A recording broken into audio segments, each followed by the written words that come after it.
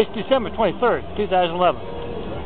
And the Baltimore Thank You Bitch has been demonstrating the character of its race today and earning cops and military in LA even more severe consequences than they have already earned because of that this week.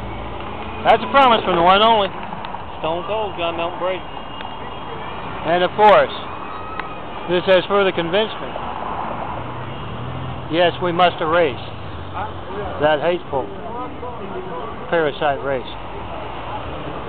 Merry Christmas.